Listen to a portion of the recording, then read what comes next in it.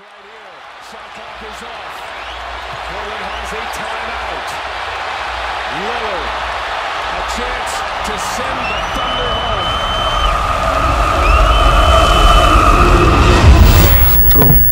You all know what happens next, and truth be told, you'll never forget it. This moment has cemented the legend of Damian Lillard into the history books, solidifying him as a name that won't be swept away with the sands of time. From this point on, his career took a sharp turn onto the course of greatness, separating himself from all the other mid-level star talents only those who have grown up in the era in which said player played in ever remember. The type of guys that maybe you know of their name, maybe you know their numbers, but outside of that, don't really care too much about them. They're just another name to have been beaten by either Jordan LeBron, Bird, Magic, Wilt, whoever it may be. I'm talking about guys like Mitch Richmond, Chris Mullin, Elton Brand, Bob McAdoo, Nate Thurmond, players that were multiple time All-Stars and the faces of their franchises, but also ones that don't play all that significant of a role in NBA history. The 90s are defined by Jordan's Bulls, and teams like the Suns, Jazz, Sonics, Blazers, and a few others have their part in this story. But you can completely exclude Mitch Richmond out of this period of time, and the difference we see in this era is minimal. Damian Lillard was going down this path. But now Lillard has his moment, his 42 seconds of glory. For two or three days, potentially even a week, he was the face of the league. And that's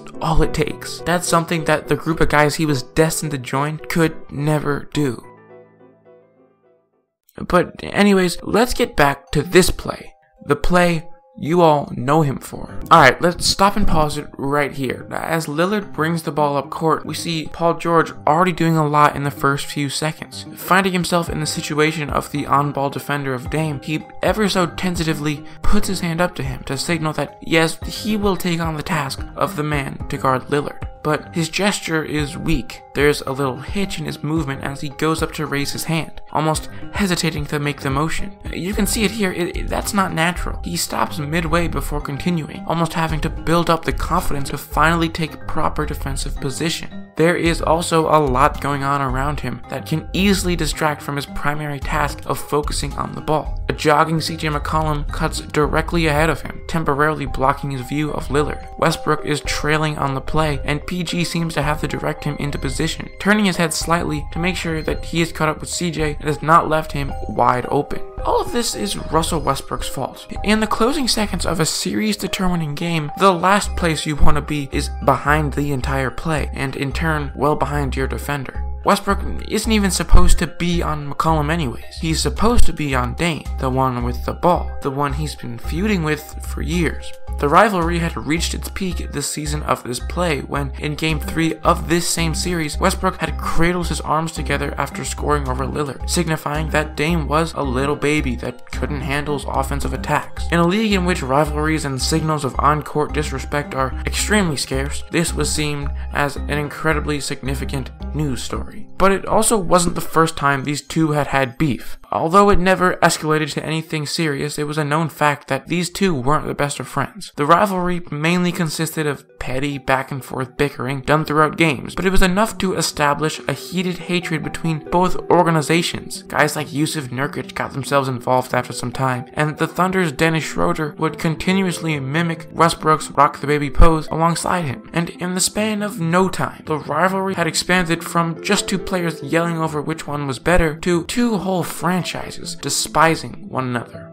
And that's just another one of the great elements leading up to this shot, because although things might have gotten out of control once the disputes grew bigger than just these two players, we are given a moment here where everything gets a lot smaller and returns to its roots, and we remember just how we got here. Everything started with Damian Lillard and Russell Westbrook, and in the closing seconds of a win or go home game for the Thunder, both players are set up with isolation plays to grant their team a game saving bucket on their final offensive possession. Westbrook is the first at bat. Due to poor clock management by his team, his opportunity isn't as significant as Dame's. With 13 seconds left on the shot clock and 22 remaining in the game, he's not going to get that glorious buzzer beater all stars dream of having. But regardless, this is a huge moment. It will be the Thunder's final offensive possession, and they hand their fate into the arms of their star. No play is run, the four other players in blue space out to either side and simply watch. Usually, this is a setup for greatness, a legendary moment. It's one of those times where Westbrook's teammates are supposed to look back 20 years from now in an interview and tell the reporter,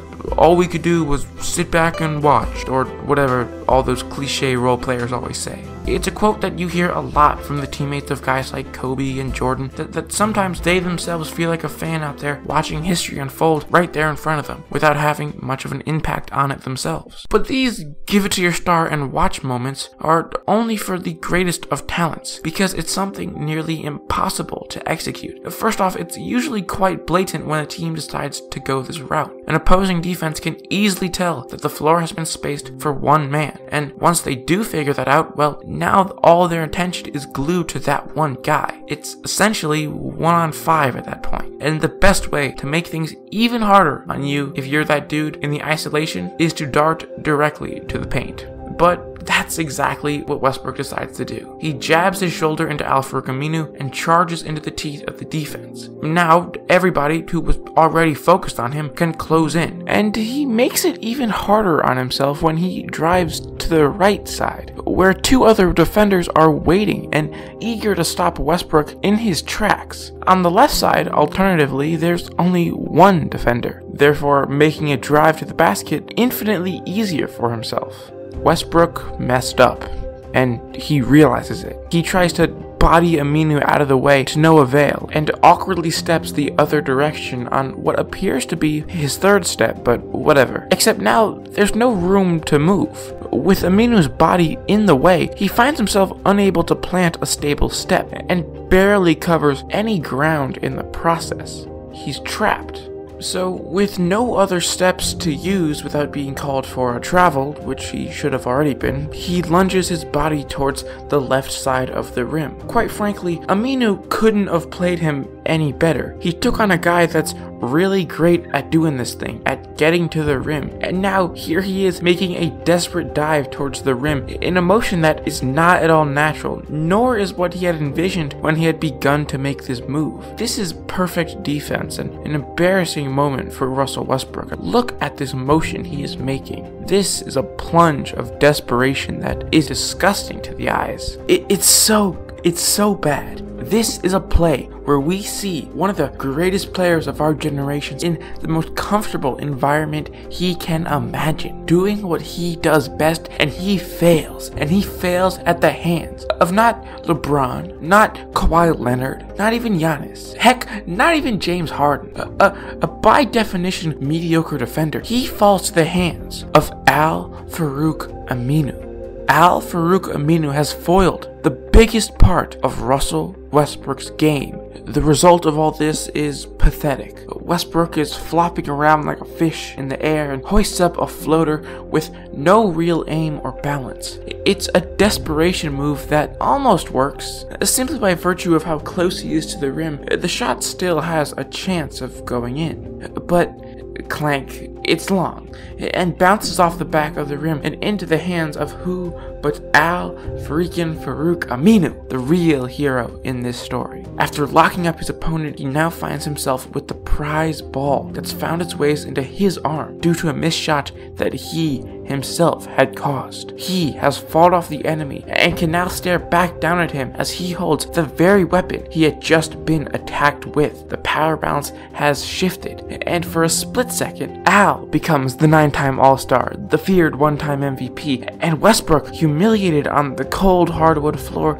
is nothing but an afterthought of a player. And after this play concludes, the smoke settles, the ball clanks off the rim, and there is this weird little detail where Westbrook kinda just sits there. You know, first he tumbles to the ground, which is an inevitability after the strange positioning he was in whilst in the air. No one's gonna blame him for that one, but there's no urgency to get back up once this happens. He lets his momentum slide him across the court for a little bit, still refusing to make any efforts to move before coming to literally a complete halt, and then still gives it some time before he gets himself back up. I mean, look at this. He is not at all scrambling to be a part of the play. And if it wasn't clear already, this is pretty much him just telling Al Farouq Aminu, you got me. And honestly, Westbrook could have spent more time on the ground because when he gets back up, he makes himself useless pretty much instantly. He ends off this little act by just jumping around a little once he's finally gotten back up. Why?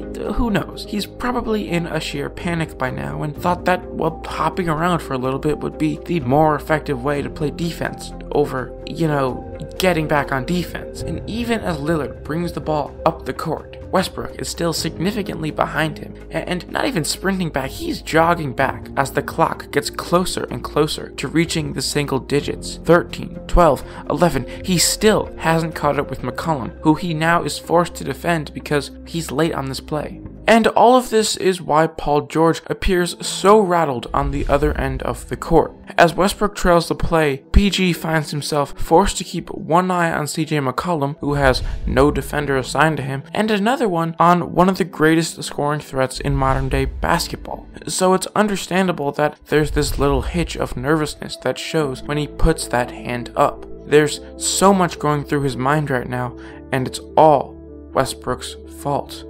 But everything works out. The Blazers hold it for the last shot, don't look for McCollum early, and the play begins with everybody stagnant as Lillard dribbles the ball between the half court and three point line, likely envisioning his plan that he executes just a few seconds later. And this is where we see probably the most impressive part of this play. Take a look at what Lillard does in these closing seconds, the ball in his hands, and thousands of NBA fans anticipating what he'll do with it. And I know this video has been very analytical. We've been slowing things down and looking at every single small detail. But this part, this you didn't miss. He just dribbles and dribbles and dribbles until he finally picks the ball up with just 2.3 seconds remaining. Mind you, he got a hold of this ball with 16 seconds remaining. He has spent about 14 seconds just dribbling. These are the last 16 seconds of the game. There are no possessions after this. This is his last ditch effort to get his team a win. And this strategy of, well, not moving is kind of strange to say the least. In taking the polar opposite approach of Westbrook and instead of rushing towards the rim with no hesitation, stands in place for what seems like forever, he too is making things a lot harder on himself. There's really not a lot of great down to the wire moments in NBA history that are this still. Look at this footage. The most movement we get out of anybody are a few meaningless steps by Seth Curry in the corner. Look at his posture. This is arguably a top 3 shooter in the league. He'd be a great option to kick it off to in moments like these if plan A is foiled by the teeth of the D. Shooters like him are always in the back of the minds of defenders when it comes to final possessions like these, and we've seen them do their part, have their little moment in history so many times before. So, what Seth Curry is doing here is beyond confusing. From the beginning of the play, with 11 seconds remaining, he's walking walking over to his spot in a beyond unenthusiastic way. It's not even his first mess up though. Curry blatantly calls for a timeout as Lillard brings the ball up court, looking directly at one of the referees on the sideline. He eventually gets the memo and realizes that nobody else, not his teammates in the game, or anybody on the team bench, including the coach, is pushing to stop the play. So although he does fully and completely commit to this hand sign, he doesn't quite commit to it quite long enough. This was a no call due to sheer luck. The ref begins to make his stride back down court the other way, and in turn swings his head to the right just for a split second, taking his eyes off of what's going on on the court. And this all happens the very split second that Curry raises his hands up. If the ref decides to start running down the court half a second earlier or half a second later, we likely do not get this shot. This insane, historic moment in history is gone. These last few seconds are completely rewritten, and for all we know, maybe Seth Curry hit that big shot. Anyways, a few seconds later, and we find Curry walking towards one of the corners of the court, looking like a 40 year old gym teacher, all hunched up and defeated. But he's not the only one. Seth Curry is by far the worst of the bunch here. All the other guys around the arc appear to be in some sort of shooting position, but they still don't move. As I said before, Curry is the one moving the most out of these four players on the court alongside Lillard, and he's the one that is already practically out of the game completely. This is weird. It's weird for a star player to conduct the final play in such a manner, and it's even weirder for the supporting cast to literally do nothing for what could be considered, for most of them at least, the biggest 10 seconds of their lives. The last play of any game, let alone a series determining playoff one, always sparks some sort of energy into the guys out there. With the clock ticking, urgency builds as both sides have to think at a pace of a million miles a minute so that they can do all that they can to get their team the win. And all they have are but a few seconds to do this, to react and properly adjust to the actions of the opposing side that are typically unknown or unpredictable completely. Look at any all time great buzzer beating shot. There is so much movement that sometimes it's hard to believe that there's just 10 guys out there. And even if players aren't sprinting their minds out, we at least see a cut, a screen, maybe, something. There's always at least something going on.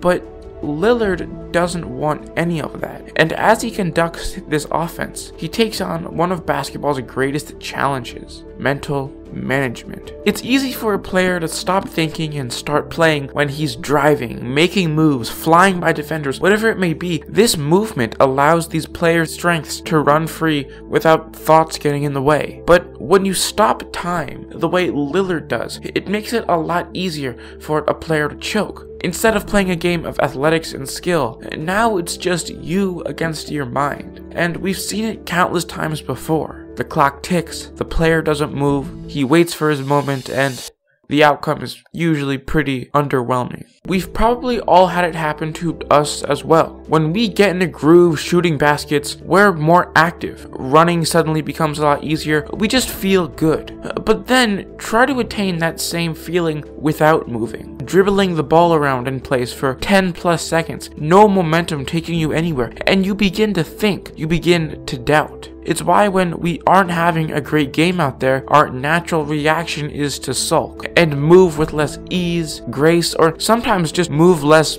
period. And I really wanted to point this out because, well, who would have thought this is exactly why Seth Curry is acting the way that he is. In this game, Curry was handed more minutes than he had ever been given up to that point in the playoffs. And his response to his team's increased reliance on his singular skill of being an insane shooter was a 1 for 4 three point shooting night. 25%. Now, whether he's aware of it or not, his posture makes us aware of the fact that this simple stat line and his underperformance is dictating everything he's doing in this final play. Which, again, and I can't reiterate this enough, is the most important play of his life. But we have to shift our attention back to Lillard, the main attraction of this entire scene. When he stops dribbling forward and begins to simply pace around the logo area, uh, beginning at about the 12 second mark, hindsight lets us know that this was his plan all along. The step back 7,000 footer was plan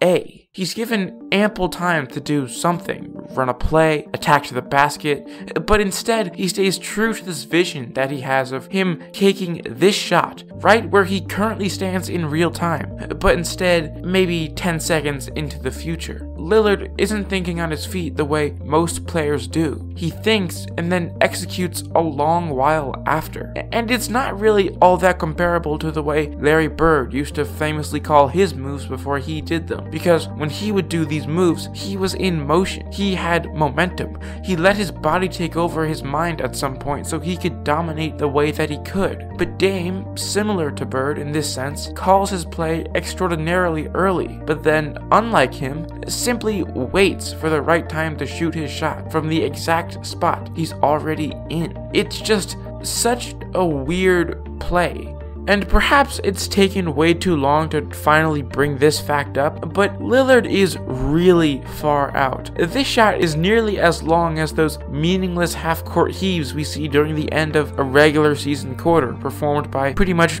every player at some point in their careers. It's a shot that they don't really think about and only really shoot really just for the heck of it. Lillard decides that that kind of shot from that range is the one that he wants to take to potentially close out the series. And he's not even going to take it while open. He's going to take a contested, damn near half court shot So when Paul George says, Yeah, I mean, that's a bad, bad shot. he definitely sounds salty, and he definitely sounds super upset about the fact that that went in and can't take any blame for it. But at its core, is he wrong? This play sounds stupid, and is only really cool and historic because it went in and it worked. But if it hadn't, Damian Lillard would have been crucified because this is such a mind boggling play to run.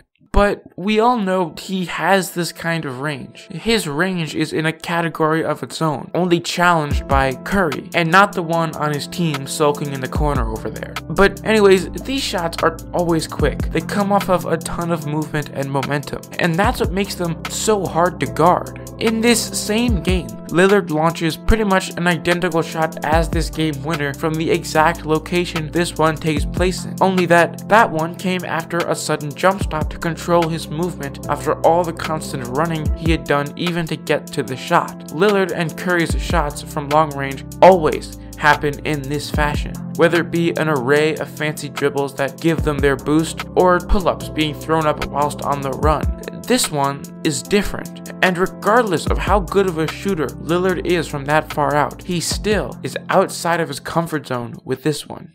And from there, we get the shot itself. I want to keep it brief for this section because this is the part of the story you all know. With just about 2.3 seconds, he steps back, launches the jumper, and bang. The most underrated part of this move is that little step back. This moment wouldn't be possible without it. Paul George is in a position where it's him against the world. He is hyper focused on what's going on, and that actually turns out being for the worse. George is over defending here, uh, but is trying to show that he's not. He doesn't overwhelm Lillard with suffocating on ball pressure, uh, but instead chooses to lurk up on his prey. He wants to surprise him, to step in and swarm once Dame gets two hands on the basketball and is forced into taking a contested jumper. And all of this would have worked, but Lillard steps back. It results in George striking too early. He hadn't foreseen a little extra time shedding movement to occur in between the dribbling and shooting phases. Now there's just nothing he can do. He's jumped too early, but keep in mind these are insane athletes with 40 inch verticals, so he's not going to be able to get another jump in due to his ability to temporarily float in the air. Lillard goes up while PG is going down, but the defense is far from bad. When Dame first bends his knees to begin his shooting process, he is approached by this looming figure of Paul George, who has now reached the highest point of his contest. In response to the temporarily overwhelmingness, if that's a word, we see him jump abnormally high before he releases the ball. This leap was massive and not usual for a jumper of his. He probably got high enough to actually dunk the ball had he have been closer to the rim. But this jump was technically useless. As he reaches his highest point, George is well on his way back down to the ground. And now, Lillard finds himself with ample space due to the combination of the step back, over anticipation by the defender, and weirdly high jump he performs to get this shot off. The second little detail happens while the shot is in the air, flying towards the basket. You see, this is the moment we all transition from reclining on our couch pillows to leaning in forward towards the TV. This is the part when our eyes follow the ball from the point it's released all the way to the point it reaches its destination. This is the point that we want to not be left uncertain about. There should be no confusion. Player A shoots, shot arcs, and shot either goes in or out. It's a very simple process. But for a split second, we as NBA fans are left stranded on an island. Because right here, at the very part, and potentially the only part for some we care about in this game, we lose it. We lose vision of the ball. It's gone. We can't track it. Lillard's shot arced so high that it simply skyrocketed out of frame. And now all of us have to be left playing this guessing game.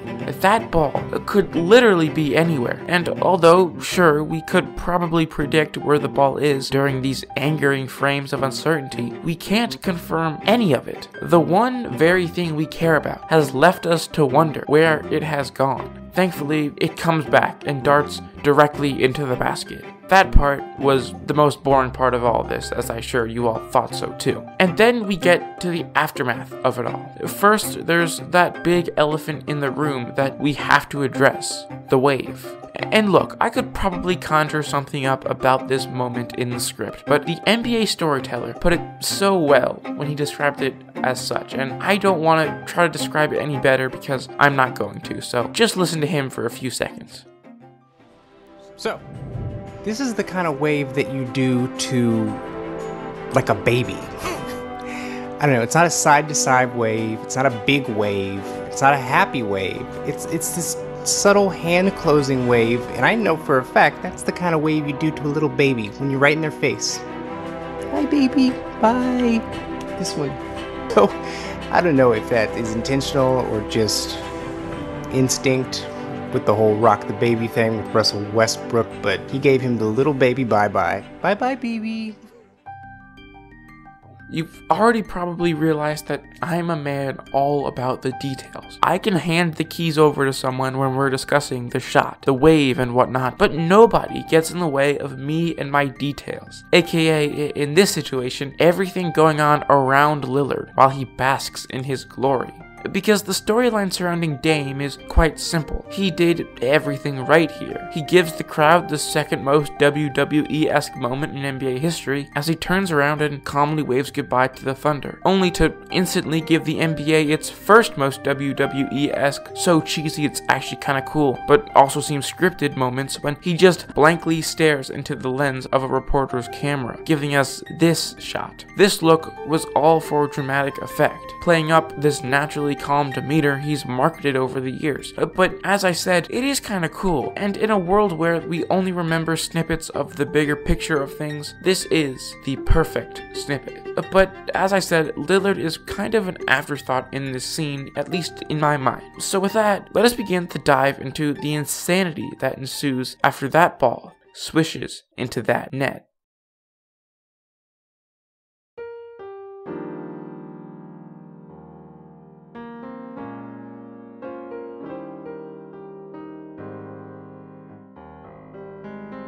Okay, so subject one is CJ McCollum, who, who is in this frame, the very first frame we see of Lillard waving to the crowd and the Thunder. So he goes through a, a, lot of phases here in his celebration of sorts. At first, he almost steals Lillard's thunder when he too tries to play it off as kind of calm. He raises his hands up and doesn't run towards him. His his, his face says nothing. He just has a straight face, a poker face, if you will. But he doesn't commit to that, and he eventually uh, sees everyone running toward Lillard, and I think figures that okay, this is this is what we're doing. We're gonna run to Lillard, and he he does. He runs to Lillard, but, but then he then he goes to phase three, where he sees Lillard is waving, and is like, okay, I guess we were running, now we're waving, I guess. And he starts waving too, but his wave sucks. His wave is, is not convincing at all. He doesn't commit to the wave. I don't know. It's not a good wave. I think you know it's a bad wave when no one remembers the fact that you even did it. So, I don't know. McCollum desperately tries to steal Lillard's thunder twice here. He, he tries to play it off all cool when Lillard can be the only one playing it off as cool here. Everyone else has to go crazy to juxtapose him being all calm and cool. And then he tries to steal his thunder again when he does the wave thing. So, McCollum is a mess in this in this whole debacle. And then in the same frame we see Harkless and Aminu. And they do it, they do everything perfect. They are role players and they know their role in any situation. It doesn't have to be just on the basketball court because they can celebrate and they can celebrate the right way. They know their role. They are those token players that scream and jump on the player that just did something sick. And they do it. They do it perfect. They perfectly juxtapose Lillard's reaction. They scream and they sprint, and that's perfect. They did it. And then Lillard's brother Houston, he is the first guy to get to Lillard. He's right there. He has it. He has a big moment to hug him, to, to tackle him, because everyone's gonna tackle him anyways. But Houston chokes. And I'm not talking about the team, they choke all the time. So I, I gotta clarify that one. But no, Lillard's brother Houston chokes. He runs up to his brother and he's there before anybody. But he just stops. And I don't know why, because I don't know. Lillard's not a stranger to Houston Lillard. Obviously, you know, he should be comfortable attacking his brother. That's kind of what brothers are for. But he chokes for a split second, and all it takes is that split second because Skal Labissiere goes nuts. Skal Labissiere you really don't see him anywhere. He's this little black blur just zooming across like like half a second of a frame. And he gets there before anybody. He gets to Lillard first. He does not hesitate. And once he gets there, unlike Houston, he attacks he strikes and he does it perfect. And I'm gonna pause this a little bit and we can see you don't see Skal at all. And suddenly he's just there. Look at the ground Houston covers compared to Skal in these few frames. They're in the same frame. There's this nice aerial shot that gets both of them. And look at how much ground they cover. And I think this is a testament to what it means to be a professional athlete versus uh, not. And then Kanter gets there second. He doesn't hesitate either, but he's Enes Kanter, so he can't get there first. He's a slow center. and then this little thing of Aminu getting immediately run over, which I don't know. I just liked it. Like he does everything right. He gets that great defensive play on Westbrook, and he celebrates right. And, and everything he does in this whole situation, in this whole moment, he does it right. And to get repaid for all this, he just gets trampled. He runs to the group tackling Lillard, and I don't know if he misses or they shift over, but he just like he just gets killed. Al-Farouq Aminu is a dead man. He just gets trampled and everyone trips over him and it's all chaos. And the true hero here is forgotten. And that's sad. And then, last but definitely not least, we have Seth Curry, because of course we do. Now, if you've noticed in these first few frames we've been looking at and slowing down in this celebration, there's no Seth Curry to be found. He's nowhere in sight, because his initial reaction is infinitely worse than CJ McCollum's, who messes it up anyway, and it's worse than Lillard's brother Houston choking as well. He just like turns, like he turns away from Lillard. He just turns to the direction of the Thunder bench. I don't know, to talk trash or to just stare at them. I don't know if he knows that it wasn't him that like made the cool big play, but I don't know. He just like stares them down. He turns away from the big moment. He turns away from the crowd, and I have no idea why, but eventually he realizes and and for some reason, and I find it so ironic that he's been a deer in headlights this whole time. It just so perfectly encapsulates everything. The fact that we finally see him getting over to the crowd with this weird deer-esque leap over what appears to be nothing. He's just doing this weird deer jump where his legs seem like 50 feet long for some reason, and I don't know. He just does it, and he's jumping over nothing. and then he just jumps over the whole crowd, which is kind of dispersing at this point. Things have calmed. He's like 10 seconds late to the party, and 10 seconds is a lot. But if you notice, look at where Seth Curry is. He is on top. He is on top of the mountain. For a split second, this is not Damian Lillard's moment. This is Seth Curry's moment. And if you look at this this frame for a split second, it really does appear that everybody's holding up Seth Curry on their shoulders. And that's weird because he messed up everything before the celebration, during the play, before the play he calls timeout. He does everything wrong. I think that just so perfectly says everything about Seth Curry. Not even in this play, but in his career. He's been the confused one, the one that isn't quite as good, the one that messes up. And time and time again, he's gotten the attention. He's gotten the spotlight and he's gotten a second opportunity. You know, he's like that annoying little brother that just does everything wrong. Everything wrong. Like he's drawn on the walls. He'll never do his homework. He's pooping on the rug. And, and he's he's 11 years old. This is not an infant, and he's just a he's just a bad kid. But for some reason, his mom just uplifts him all the time. And I think I'm definitely rambling here. There's no script anymore. All that is gone. But Seth Curry does everything wrong. He has pooped on the rug, and now the entire Blazers organization, all of Damian Lillard's siblings and family, a bunch of press and media and fans, they all have him atop their shoulders. He is the man on top of the world. So look, if you get anything out of this video, let it be this. Seth Curry is that kid who poops on the rug.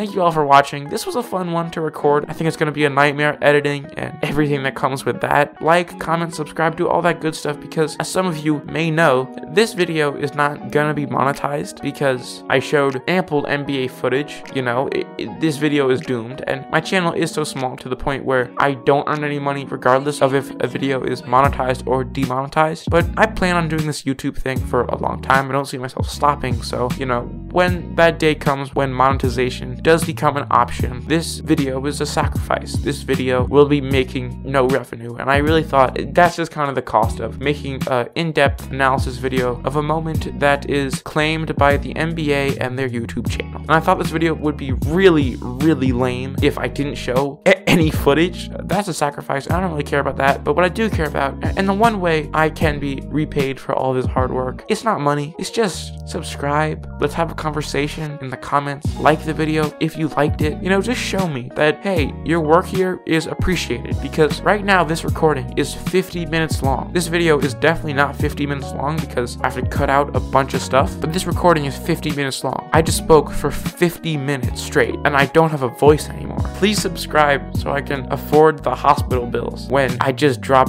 dead of sheer tiredness. It's 4 in the morning, for God's sake. Thank you all for watching. Like, subscribe, comment, and I hope you enjoyed. And tell me if you want more videos like this, what kind of videos you guys want in the future. And yeah, with that, I'm out. Bye, guys.